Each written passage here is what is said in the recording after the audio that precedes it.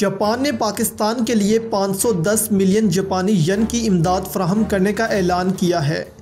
یہ رقم polio vaccine کے حصول کے لیے خرچ کی جائے گی، جسے دو ہزار اٹھارہ انیس میں اس موسم کے دوران استعمال کیا جائے گا۔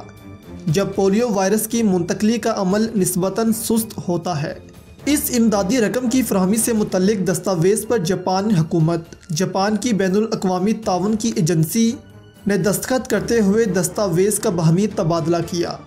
اس سلسلے میں منعقد ہونے والی تقریب کے موقع پر خطاب کرتے ہوئے وفاقی وزیر صحت محمد عامر کیانی نے کہا کہ وزیر اعظم عمران خان کی حکومت ملک سے پولیو کے خاتمے کے لیے پرعزم ہے۔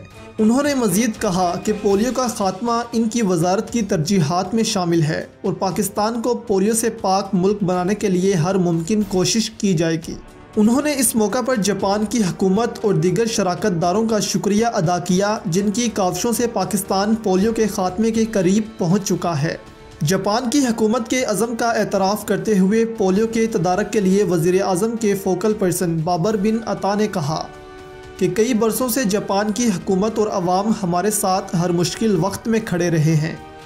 میں اس موقع پر جاپان کی حکومت، عوام اور دیگر تمام معاون اداروں کا تہ دل سے شکریہ ادا کرنا چاہتا ہوں کہ جن کے تعاون نے ہمیں گزشتہ چند سال کے دوران اس مقام پر پہنچایا جہاں آج ہم موجود ہیں۔